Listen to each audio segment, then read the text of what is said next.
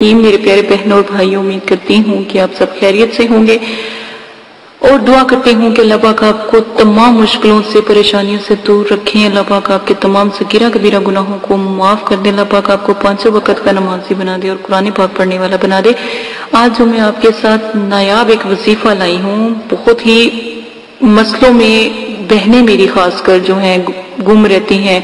और जालिम, शोहर जालिम हो जाता है, या जुल्म करता है, या मारता है, उसको धक्के देता है, गालियाँ देता है। और एक बात याद रखिएगा कि घर में बरकती जो सी है या तंगदस्ती है, ये क्यों आती है? जब शोहर मारेगा, जुलम करेगा, गालियाँ देगा, आपको पता है, जैसे घर, जिस घर में गाली निकलती है ना, उस घर से रिसक उतनी स्पीड से खत्म होता है जितनी स्पीड से लोग गालियाँ निकालते हैं। और एक गाली निकालने से एक बिच्छू कब्र में तैयार होता है। ठीक है? तो आप खुद ही हिसाब लगा लें कि जो गाली निकालेगा, कितने बिच्छू तैयार किए होंगे और कितनी उसके घर में तंगी रिजक होगी। एक ना एक वक्त में उस चीज़ का ज़रूर अल्लाह पाक हिसाब लेंगे। ठीक है? तो आपने, और एक बात याद रखें कि गाली निकालना किसी को नहीं जाता। खुदा नवाजल्ला माफ़ करे तो नौज बिला तो बस तो अगर मैं गाली निकालती हूँ, वो गाली किसी को नहीं गई। वो गाली मुझे पर गई। गाली निकालने वाले का दो नुकसान है।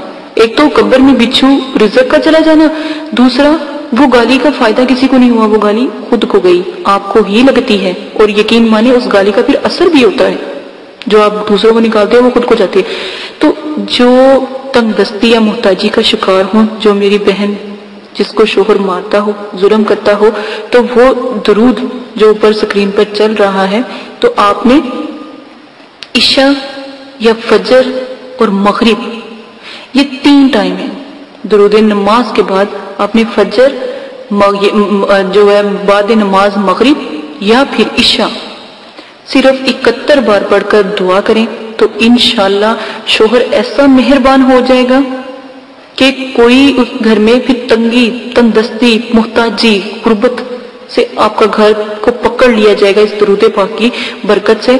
और कभी भी घर में तंगी नहीं होगी और जुल्म सितम खत्म हो जाएगा। दरूद इब्राहिमी से जो मैंने तरीका बताया था, वो भी बहुत नायाब है और ये भी बहुत नायाब है। अल्लाह मोहम्मद सैदना मोहम्मद से लेकर मोहम्मद व आले वसल्लम तक। ठीक है, आप पढ़ेंगे तर्जमा, ए अल्लाह रहमत नाजिल फरमा, मेरे आका मोहम्मद सल्लल्लाहु अलैहि वसल्लम पर जो सही और गलत के दरमियान फ़र्क करने वाले हैं और हक के बातिन के दरमियान फैसला करने वाले हैं और अल्लाह पाक उनकी रहमत से जो और आके जमा करने वाले हैं और रहमत नाजिल फरमा, हज़रत मोहम्मद सल्लल्लाहु अलैहि वसल्लम की आल पर और सलाम नाजिल फरमा। ये बहुत छोटा सा दूध है, ये आप याद कर लीजिएगा और ये कीजिएगा एक और मेरा जिसका मैं तरीका आपको बताती हूँ। आपने क्या करना है? अगर शोहर है तो शोहर, अगर ससुराल में कोई ऐसा मसला है, खासकर मेरी बहनों के साथ तो वो, अगर घर में कोई ऐसा मसला है तो वो तो आपने जिसको मुतन करना हो मुसखर करना हो, ताबे करना हो, या आप चाहते हो कि घर में लड़ाई ना हो, झगड़ा ना हो, बिल्कुल सब लोग ठीक रहें। रिजक की कमी भी नहीं है तो फिर भी मसले हैं तो तब भी।